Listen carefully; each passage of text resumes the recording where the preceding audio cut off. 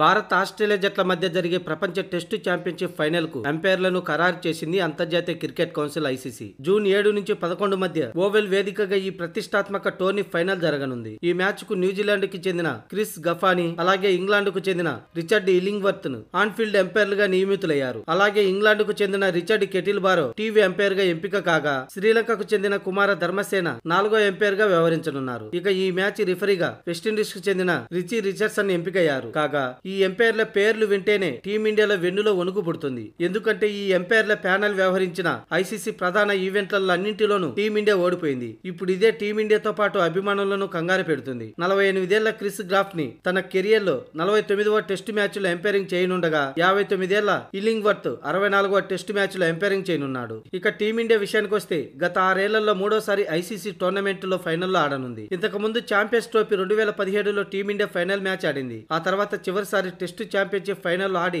ఓడిపోయింది. అప్పటి నుంచి ఇప్పటి వరకు ఏ ఐసీసీ ఈవెంట్ లోనూ టీమిండియా ఫైనల్ ఆడలేదు. ప్రపంచ టెస్ట్ ఛాంపియన్షిప్లో ఆన్ఫీల్డ్ ఎంపైర్లు టీవీ ఎంపైర్లుగా పనిచేస్తున్న ముగ్గురు ఎంపైర్లు గత ఆరు సంవత్సరాలలో భారత్ ఆడిన అన్ని నాకౌట్ మ్యాచ్లకు ఎంపైర్లుగా ఉన్నారు. దురదృష్టవశాత్తు ఈ నాకౌట్ మ్యాచ్లన్నింటిలో టీమిండియా ఓడిపోయింది. అయితే జట్లు గెలుపోటములు ఎంపైరింగ్ పై ఆధారపడవు. మైదానంలో ప్రదర్శనే ఇరు జట్ల గెలుపోటంలో నిర్ణయిస్తుంది. మరి కనీసం ఈసారైనా టీమిండియా ఐసీసీ ట్రోఫీని కైవసం చేసుకుంటుందో లేదో చూడాలి.